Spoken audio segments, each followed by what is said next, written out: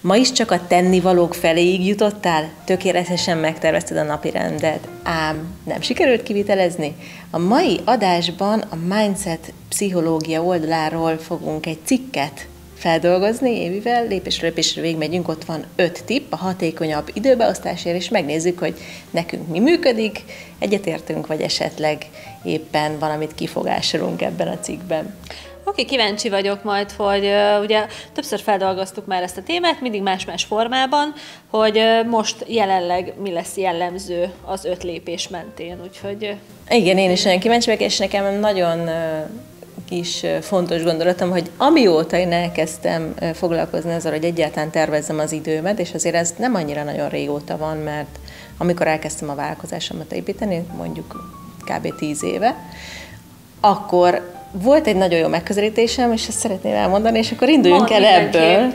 Ugye, hogy egy, egy hétnek az ideális órabeosztását 5-6 területet, hogyha fölírok magamnak, hogy mondjuk szeretnék, mennyit szeretnék aludni, ideálisan mennyit szeretnék mondjuk a családommal lenni, párkapcsolatommal tölteni, a munkámmal tölteni, hobbimmal tölteni, tehát hogy így 5-6 területet időtorta? Igen, időtorta, igen, na, Hát már itt bejön a szakértőséged, igen, az időtort az tök jó, szóval egy ilyen ideális időtortát felrajzolok a hétre, és aztán megvizsgálom, hogy a valóságban ehhez képest hogy van, és nagyon szörös szívűnek is kell lenni, és hogyha nagy a különbség, és ezt időről időre uh-huh. megteszem, akkor muszáj közelíteni. És Emlékszel a legelső alkalomra, amikor felrajzoltad ezt az időtortát a igen, igen, az, hogy borzalmasan messze volt egymástól a kettő, és egyszerűen rádöbbentett, hogy mennyire miért vagyok annyira stresszes, miért nem sikerül semmit megcsinálnom, amit szeretnék, miért nem tudom, miért nem tudok kiegyensúlyozott lenni egyáltalán. Olyan egyszerű eszköz ez az időtartam, mégis olyan sok minden kiderül belőle, én is mindig workshopokba bevittem, vagy bevittük a, a, az időtortát, és az esetek többségében, amikor így ráeszmélnek a csajok, hogy, hogy a, a munka szelete milyen óriási, és ahhoz képes esetleg az én idő, vagy a családdal töltött idő, vagy éppen bármelyik egyéb életterület meg mennyivel kisebb szeret, és teljesen máshogy néztek ki azok az időtorták, ami a valós, ugye, amit először rajzolsz meg, meg az ideális, amilyet igazából szeretnél.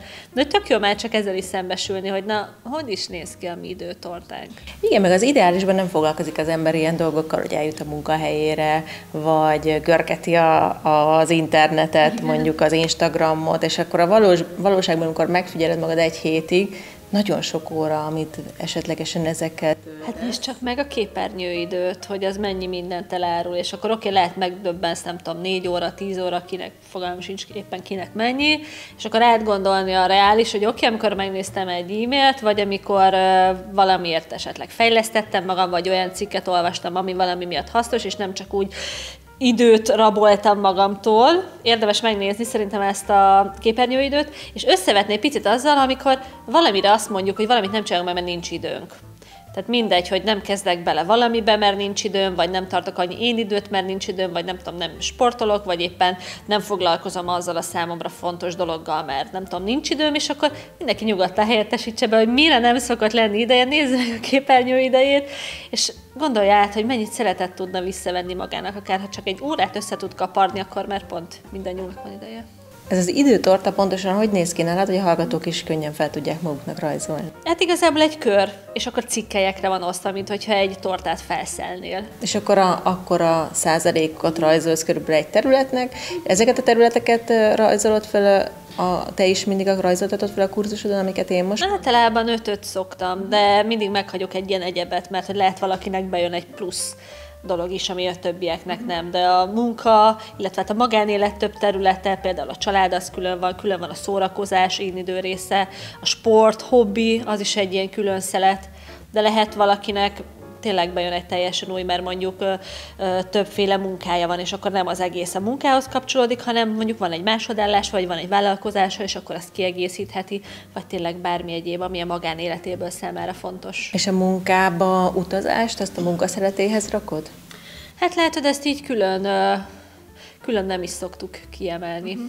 hogy a munkába menő idő az... Szerintem, hogy egy óránál hosszabb, akkor mindenképpen érdemes, mert, Egyébként a, mert akkor az azt jelenti, hogy heti 16 óra? Valóban. A... 10 százalék, mert ugye 168 óra van egy héten. Van a szikra tervezőben egy külön olyan rész, ahol, uh, ahol órákra kérem lebontani, és ott jóval-jóval több területet sorolok fel, és akkor egy heti, vagy egy héten mennyit töltesz ezzel, azzal, azzal. Mondjuk a munkába való utazás az nincs közte, de majd lehet, hogy ezt kiegészítem. De hogy ott lehet, hogy máshogy rajzoljuk be a tortaszületünket, és de amikor ki kell bontani órára pontosan egy hétre lebontva, akkor ott megint egy picit másként gondolkodunk, és még erősebb számok jöhetnek ki. Na nézzük is meg, hogy a cikk mit ír az első tipphez. Határozd meg a prioritásaidat. Lépj egyet hátra, és gondold végig, hogy melyek azok a célok, amelyek fontosak számodra. Jól szeretnéd teljesíteni az iskolában, jó szülő szeretnél lenni, esetleg fejlődnél a munkában, vagy csak örülnél, hogyha végre elintézhetnéd a hónapok óta halogatott hivatalos ügyeidet. Tehát priorizálj, azt mondja.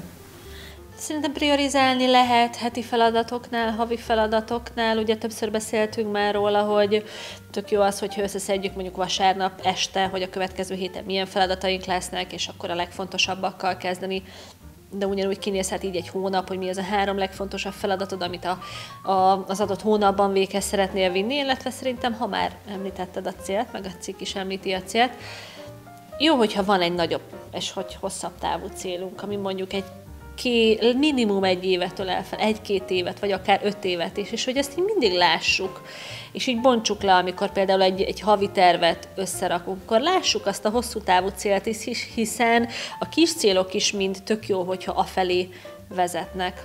Úgyhogy igen, fontos, hogy priorizáljunk, hogy legalább azokat a dolgokat megtegyük, amik a célunkhoz vezetnek. Egy csomó olyan be fog, be fog csúszni, amin egyáltalán nem vezet oda, tehát annak is helye van, és rendben van. Te hogy állsz ezzel a priorizálással? Nagyon fontos, és ugye amióta egy picit együtt is dolgozunk azon, hogy én is a céljaimat jobban elérjem, ezt a heti tervezést én is beiktattam a, a hétköznapjaimba, és ez, ez nagyon nagy segítség ahhoz, hogy, hogy tényleg eljussunk A-ból B-be, mert nem, mert főleg ebben az elmúlt három évben, amikor annyira sok változó tényező volt, és annyira sok olyan tényező, ami elvitte a fókuszt, vagy elvihette a fókuszt, nagyon fontos és nagyon-nagyon jó kapaszkodó pontot jelent nekem, én szombaton délelőttként szoktam ezt csinálni, hogy áttekintem, hogy, hogy mit csináltam ezen a héten, és hogy mit fogok, és mi annak a, a fő fókusza. Én azt hallottam nemrég, hogy a priorizálásnál érdemes egyet kiemelni, tehát nem is annyira, nyilván lehet egy sorrendet is állítani, de hogy, hogy a legelső dolgot, hiszen hogyha a legfontosabb dolognál pipa kerül a végére, akkor ez egy nagyon-nagyon jó érzés. Igen, egy elégedettség, ugye? Igen. A nap, nap végén, hogy legalább az megvan, ha más nem is, de az megvan, ami valami miatt fontos. Uh-huh. Ezt szerintem ezt szerintem hasznos beépítenünk. Igen, úgyhogy szerintem akár az időtortát, akár azt a listát a Szikrák magazinon megcsináljátok, és utána esetlegesen priorizáljátok majd ennek megfelelően az aktuális teendőiteket, azzal biztos, hogy nem nyúltok mellé. A második tipp, hogy légy reális és mérlegelj. Mik azok a feladatok, amiket ténylegesen meg tudsz valósítani? Magyarul se lejtesz ki az ötleteidet. hát, a fene tudja. Mm, igen, Nekem erről az jut eszembe egyrészt az Eisenhower Matrix. Az Eisenhower Matrix úgy néz ki, igazából csak ilyen nagyon leegyszerűsítve, hogy én kezdtem el használni, mikor annól ezt tanultam, hogy valamelyik feladatot sürgős, valamelyik feladatot fontos, és érdemes megnézni, hogy melyik sürgős és fontos, vagy csak az egyik, vagy egyik se. És akkor ez is segíti a priorizálás, meg a feladatok közötti szelektálást, illetve ami nekem bevált, és ezt évekig csináltam, mikor szabadúszó lettem, most már azért eléggé belejöttem, mert nem írom hozzá a vagy hát az igazat megvan, nem mindig írom hozzá, mert azért elég sokszor hozzáírom, most, így uh, belegondoltam, hogy nem is teljesen mondtam valósat. Tehát, hogy amikor összerakom a heti feladataimat, és a legfontosabb feladatokat, akkor én mindig mellé írom, hogy ez körülbelül mennyi időt vesz igénybe. Uh-huh. Persze nem ilyen 53 perc. Na ez már azért pro tip, ezt én még nem csinálom. nekem ez, ez nekem ez nagyon, nagyon sokat segít, hogy lássam, hogy lehet, hogy csak három feladatot írok föl, de az egyik az mondjuk három órát fog tartani, vagy a másik négyet, vagy valamelyik csak egy fél órát, de hogy lássam, nem baj, hogyha az nem pont annyi, picit arrébb csúszik, csak pontosan látni fogom akkor a napomnak a beosztását, hogy, hogy ezekre hol fogok tudni sort keríteni, és egyáltalán belefér vagy reális az elvárásom, hogy megcsináljuk 27 dolgot, miközben lehet, hogy csak kettő fér bele, hogyha belegondolok, hogy melyik mennyi időt veszel. Nekem az elején rettentő sokat segített, és valóban most, hogy így belegondolok, még a mai napig csinálom, mondjuk egy 80%-ban, az esetek 80%-ában. Szerintem ez egy nagyon jó ötlet, mert én is például hajlamos vagyok újra, vagy túltervezésre, tehát hogy, hogy nem is becsülöm fel, hanem tütütütüt, ezeket kell megcsinálni, és aztán meg nem amúgy sikertelenség van a végén, mert csak a felét tudtam, de ha az elején odaírtam volna, hogy melyik mennyi óra, akkor nyilván egyértelmű lett volna, hogy túl terveztem, és hogy esélyem nem volt. Na, majd bevezetjük a... jó, jó, jó, létszi, létszi mindenképpen.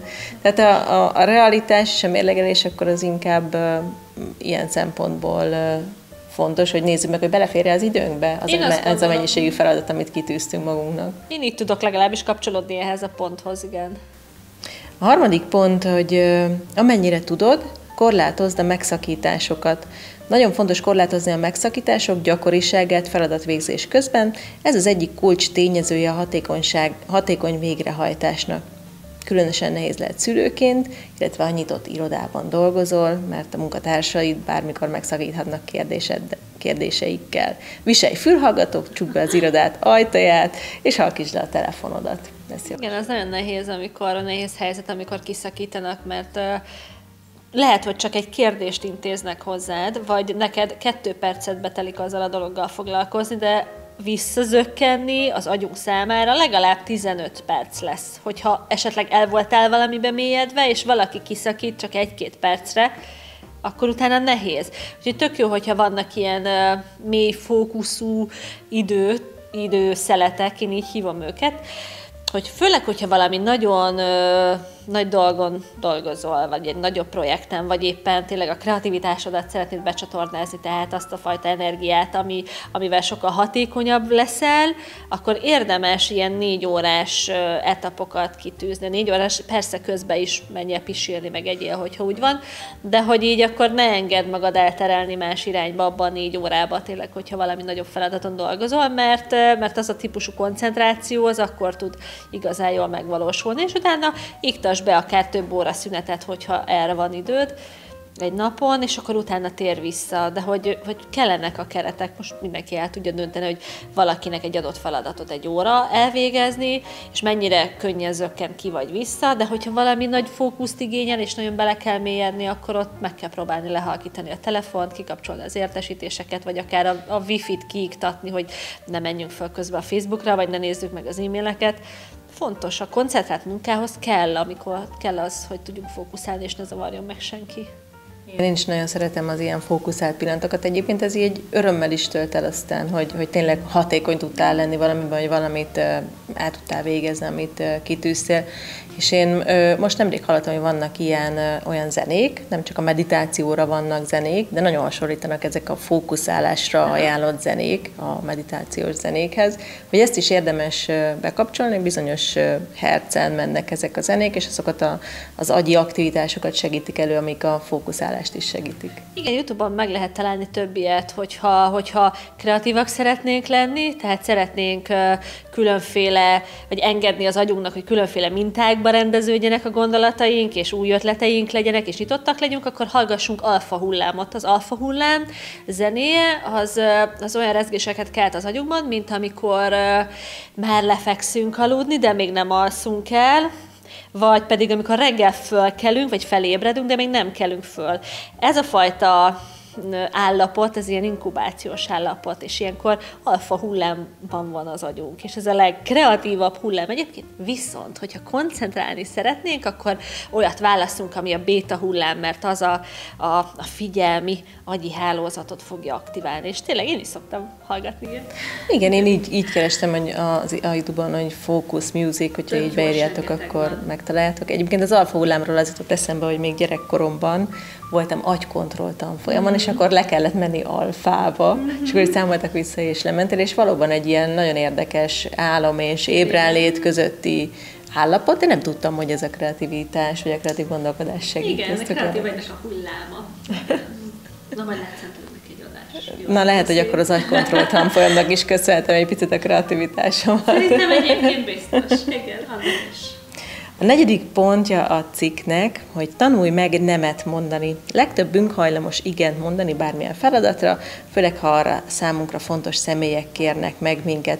Ám céljaink és feladataink priorizálása néhány dolog feladásával jár, úgyhogy mérlegelni kell a hosszabb távú céljainkat és a prioritásainkat, és olykor hasznosabb lehet nemet mondani. Hogy vagy a nemet mondással? Mondanám azt, hogy könnyen megy, de azért nem. azt gondolom, hogy, egy, hogy fejlődtem nagyon sokat az elmúlt tíz évben, de még biztos, hogy van hova, hova fejlődni. Nem olyan egyszerű tényleg, hogyha fontos személy kér erre vagy arra, és hogyha egy picit tudatosabban nézzük meg akár ezt az időtortánkat is, hogy ugye a családunkkal mennyit szeretnénk foglalkozni, mert nyilván a fontos személyek leginkább onnan onnan vannak, vagy legalábbis nekem most ez így ez. Tehát akkor, akkor lehet, hogy nem lesz lelkiismert fordásunk, ha tényleg megtesszük a magunkét, ami, ami szerintünk, minden, amit mindenképpen szeretnénk a családra fordítani, viszont hogy ott vannak ugye hiányosságok, akkor nyilván nehezen nemet mondani, ha amúgy is van egy ilyen lelkiismeret fordásos állapot.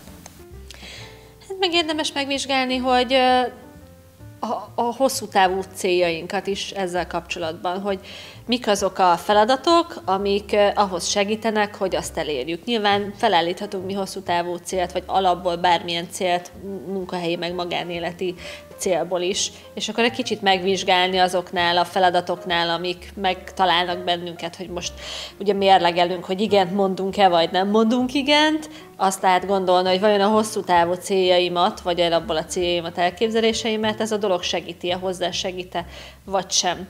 Úgyhogy szerintem az is segíthet benne. Igen, ezt a munkahelyi dolgoknál lehet szerintem bevetni, de mondjuk, ha egy családtagod kér ezt vagy azt, hogy nem tudom, vitát neki a virágokat, vagy most tényleg olyat mondtam, ami, ami nem, nem valós, vagy nem releváns számomra sem, viszont ilyen mindenkinek az életében előfordul, hogy arra közben mondjuk tudod, hogy helyette valamit, nem tudom, munkát kéne csinálnod, de hát akkor most mi, hogy mérlegelsz, hogy most melyik, hát, melyik a fontosabb, vagy hogy mondasz nemet, vagy tudod, hogy amúgy pihenned is kéne a hétvégén, de, de közben pedig nem mondhatsz nemet egy, egy segítségkérés. Igen, meg mérlegelsz mindenképpen. Meg az sem mindegy, hogy most ha bevállalod, akkor azt érzed, hogy jó, hát na oké, kompromisszum bevállalom, vagy azt érzed, hogy folyamatosan csak és kizárólag rád pakolódnak a terhek azzal, hogy nem mondasz nemet, mert hogy az már egy megint egy másik állapot. Szóval hát ebben nem lehet okosakat mondani, azt gondolom, hanem csak éppen, hogy kinek mi válik belőle. De ezért lehet, hogy itt is segít, hogyha ha amúgy most megcsináljátok az időtortát, és már lehet, hogy nekem is épít az ideje megcsinálnom újra, akkor ott megnézed, hogy mennyit foglalkozol, vagy mennyit vagy a családottal, és akkor azon belül, hogy tényleg, hogy esetlegesen hogy csoportosítsd azt a, azt a belőtt óra mennyiséget, és akkor lehet, hogy x órát segítesz, x órát szórakozol velük, tehát hogy egy picit így ezt is tudatosabban rendezni. Meg nem rossz egyébként ránézni a különféle szerepeinkre, ilyet csináltunk együtt is, hogy ugye mik azok a fontosabb szerepeid, amik egy, egy vagy hát az életben, vagy a jelenleg az életedben fontosak, hogy vagy esetleg családanya, vállalkozó, akármilyen hobbi művelő, és akkor megnézni, hogy egyébként te hogy vagy ezekben a szerepekben, mik a céljaid, kiknek akarsz megfelelni, mennyire vagy rendben ezzel és akkor ebből a szempontból megvizsgálni, amiből mondjuk azt látod, hogy hát egy hármast adsz magadnak, meg nem az idődet, idődnek is csak egy nagyon pici részét, és mondjuk, hogy olyan feladatokkal találkozol, talán ez is segít a hogy nemet vagy igent mondjál, hogy ott túlterhelt vagy-e abban a szerepedben, vagy sem, hogy belefére még valami, vagy sem. Igen, szerintem egyáltalán, ha már fölmerül, hogy mondhatok nemet is, az már egy tök jó lépés, mm-hmm. és akkor utána el lehet kezdeni mérlegelni, hogy most ebben a szituációban mi lesz a jó döntés. Igen. Meg hogy az a nem, hogyha nemet mondok, az mi, mi, mi történik abból mondjuk egy hét múlva, vagy egy év múlva? Számít-e az a nem? Lehet, hogy neked marha sokat számít, akkor már felszabadul egy kis pihenőidőd. De lehet, hogy, amit most mondtál, hogy hogyha esetleg azt mondod, hogy nem, akkor megbántod valamelyik családtagodat abban a helyzetben, akkor inkább igen mondasz, mert el tudsz tekinteni most akkor ezt a, attól a pici pihenőidőtől is mérlegeljünk. Talán ez a legjobb. Az ötödik tipp, hogy fejezd be a hallogatást. Sokszor azért hallogatunk, mert a ránk váró feladat unalmas vagy averzív jellegű. Még rosszabb, hogyha azért csináljuk, mert kételkedünk saját munkavégzésünkben, így már előre feladjuk azt. Ha rájössz, hogy mi az oka a halogatásodnak, már is közelebb kerülhetsz a megoldásához. Szerintem ez egy tök fontos mondat, amivel lezárja a cikk ezt a pontot, hogy, hogy gondolkodjunk el, miért halogatunk valamit. És szerintem a miért módszer az, az egy ilyen szuper dolog. Amikor egy ötször felteszed magadnak a kérdést, hogy miért mondasz rá valami. Azért halogatom már. Oké, okay. de miért is? Azért halogatom már, és akkor egyre, egyre több hagymahéjat bontasz le, és végül ott állsz, ha nem is azért halogatok valamit, mert nincs rá időm, hanem azért, mert attól félek, hogy, hogy nem tudom, ebbe beletörik a bicskám, mert nincs annyi, nem tudom, szaktudás, hogy meg tudjam csinálni ezt a dolgot. Tehát, hogy itt tök mélyre le lehet menni és megtalálni a valós okokat, hogy vajon miért halogatunk. Én azt vettem egyébként észre, hogy sokszor azokat a dolgokat halogatjuk, amik, amik ilyen nagyobb lépés, ami vala, van benne valami ismeretlen faktor. De egészen odáig fogjuk ezt valószínű halogatni, amíg nem csináltunk belőle egy tök elnagyolt tervet, hogy nagyjából akkor ez hogy néz ki, hogy aki nem kell egyszerre megennem egy fél éves projektet, hanem kezdjem az elején, miből áll, csak egy ennyi picike szeletet csináljak meg belőle, és már, hogyha bárhogy belekezdtünk, akkor az már menni fog. Igen, a lépésről lépésre haladás, ez mindig sokat segít, és én akkor szoktam halogatni, egyrészt, hogyha ha így túl nagy a feladat, és, és nem tudom, hogy hogyan kezdjek bele, és akkor aztán, amikor belekezdek, akkor valami jó érzés, és rájövök kb. 5 perc után legtöbbször, hogy itt már úgyis valakinek a segítségét kell kérni, és akkor tényleg elindul az egész. A másik eset viszont az akkor szokott történni, amikor nem becsülöm meg, hogy mennyi munka egy adott feladat elvégzése, és legtöbbször túl nagyon sokszor elfordul, hogy túlbecsülöm, hú, ez legalább három óra kell, vagy nem tudom, és akkor ugye nem fér bele itt se az időmbe, ott sem az időmbe, és akkor halogatom, míg a végén egyébként kiderül, hogy simán belefért volna, mert fél óra alatt megvan. Úgyhogy lehet, hogy ez a, ha mi is bevezetjük az idő mellé rakását a feladatokhoz, akkor ez segít majd a halogatást is egy picit jobban legyőzni. De szerintem nincs olyan ember, aki nem halogat, tehát ebben csak jó, rossznak, jónak, vagy még jobbnak lehet lenni, és inkább az a cél, hogy egy picivel jobbak legyetek a te, tegnapi önmagad. Igen, mert ugye halogatunk, amit mondtál, hogyha túl nagy a dolog, halogatunk, ha van benne valami ismeretlen, és halogatunk mikroteendőket is, tudod, még 78 címet meg kell írnod, vagy ezt még gyorsan meg kell csinálni, és erre tök jó, amiről már beszéltünk Anitával, a két perces szabály, hogy, hogy két perc alatt ezt meg tudom tenni, vagy nem tudom. Ha nem tudom megtenni, akkor adjam át valakinek, vagy ne is végezzem el, de ha én meg tudom tenni, akkor azonnal csináljam meg, vagy írjam be egy bizonyos időpontra, hogy mikor csinálom meg. Tehát, hogy, hogy a két perces szabályt használjátok, az segíti legalábbis a mikroteendőknek a halogatását. Igen, az időmenedzsmentnél nagyon jó tipp. Hát köszönjük szépen Helstáb Laurának és a Mindset pszichológiának a cikket. Reméljük, hogy ti is merítkeztetek belőle, és hát ahogy megszokhattátok, most kártyázás jön. Húzunk, húzunk kártyát. Húzunk egyet, kártyát. egyet, meg én, és akkor átbeszéljük. És válaszolunk. Ugye, mert ezek a kártyák, még a legelső adásból hallhattátok, hogy a kreativitásnak különböző színeit, szeleteit mutatja meg különféle kérdésekben, mert hogy a kreativitás ez egy nagyon sokszínű, komplex fogalom, ami igyekszünk kibontani ezekkel a kártyákkal a különböző területeit, szeleteit. Mit húztál? Igen, mind a ketten az évvel a kreativitásban hiszünk, ezt már tudjátok, viszont most tegnap beugrott egy mondat, ami, amit így a kreativitás kapcsán kapcsán meghatároztam, hogy, hogy miért jó kreatívnak lenni, és szerintem azért jó kreatívnak lenni, mert a kreativitás minden problémát kihívássá szeridít. Ez a mondat hmm. ugrott be, és hogy szerintem ez nagyon igaz, és, és nagyon sok problémával találkozunk, amiből kihívást tudunk csinálni, hogyha más nézőpontból tekintünk rá, úgyhogy ezért érdemes kreatívnak lenni, és ti is magatokban válaszoljátok meg majd ezeket a kérdéseket, amiket most én felolvasok. Hogyan hatott rád legutóbb a természet? Én nagyon-nagyon szeretem a természetet, és amikor legutóbb kint voltam a természetben, és egy ilyen kilátó tetejére fölküzdöttem magamat, és alig kaptam levegőt a végén, és körülnéztem, akkor rádöbbentem, hogy nagyon szeretem a természetet is, de az, hogy én kilátok, hogy én messzire ellátok, ez valami olyan mindent elsőprő érzés számomra, hogy mint amikor tényleg átlátom a feladataimat, vagy mint hogy egy nagyobb, egy nagyobb projektben megoldjuk a dolgokat, hogy egyszerűen olyan jó volt ott a természet közepén is így az egésznek az urának lenni, és annyira, annyira sok energiát adott nekem, úgyhogy nekem mindenképpen az energia, ami először eszembe jut a természetről, hogy engem tölt.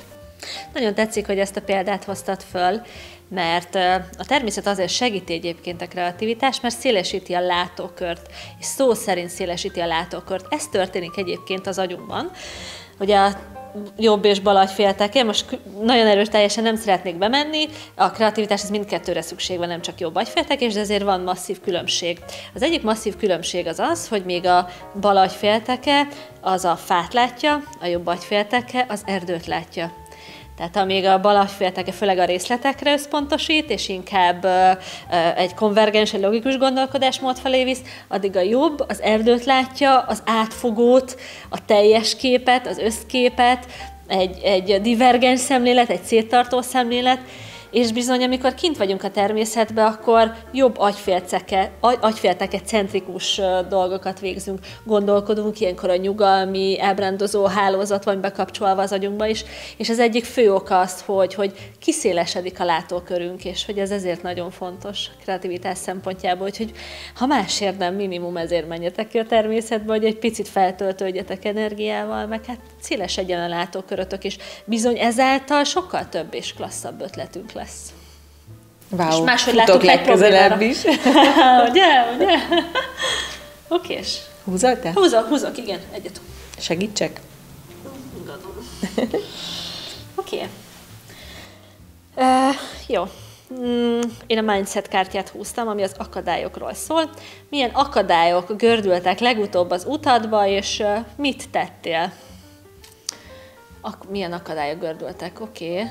Mostanában inkább akadályokat görgetek el, mint sem görögnek az utamba, de hogy nagyon koncentrálok, hogy eszembe jusson valami konkrét uh, akadály. Hát egy brutál fontos probléma jutott eszembe, tehát valami miatt uh, ne, nem működik a gépemmel a HDMI kábel, néha projektorral, meg tévével. Bizony, bizonyíthatom.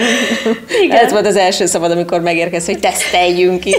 Igen, mert hogy ezt nem értem, hogy mitől működik, és márben Einsteinban, több embertől megkérdeztem, és fogalmuk sincs, úgyhogy most ö, amit tettem, és teszek ebben a helyzetben, hogy megpróbálom megérteni, hogy hol is van a probléma, hogy mit kell tennem annak érdekében, hogy ez megoldódjon, és ez egy ö, több összetett, vagy több ismeretlenes egyenlet, mert vagy a kábel, vagy valami a program, vagy maga a tévé, vagy az adott projektor, úgyhogy tehát ez, ez gördült legutóbb az utamba. Próbálom megérteni ezt a problémát, részeire szedni, és, és ezáltal így valahogy megoldani akadályszóról mi jut eszünkbe, mert ez, ez egy tök jó praktikus dolog, amit hát vagy könnyű, vagy nehéz megoldani. Én nekem az akadályszóról, hogy mi gördült, gördült elém rögtön a, a Covid, a háború, hogy az egész céget újra kellett szervezni, hogy új, ugye ilyen szervezeti változások is voltak, és hogy ez rengeteg akadályt jelentett abban, hogy, hogy előre menjek a, a küldetésemben, viszont nagyon fontos, hogy az akadályokat ilyen konkrétumig levigyük, mint amit most te is megfogalmaztál, mert ugye azzal, hogy most szervezeti változások vannak, nem lehet mit kezdeni. Viszont meg kell próbálni, amit nálam kicsibe, az most a te példádban nagyban, meg kell próbálni megérteni magát a problémát.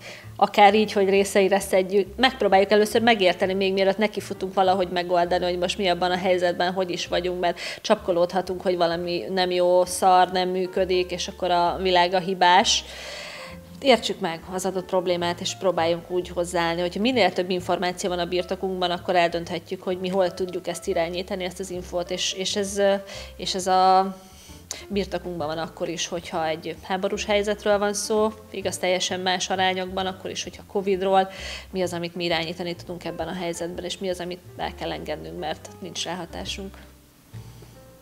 Most egy izadás vége felé járunk, még ajánlom figyel- figyelmetekbe a kis letölthetőnket. Tavalyról összeállítottunk tíz igen, tíz, tíz igazából kibővítettük közben, de, de tíz, igen, mert így is hangzik a, a címe.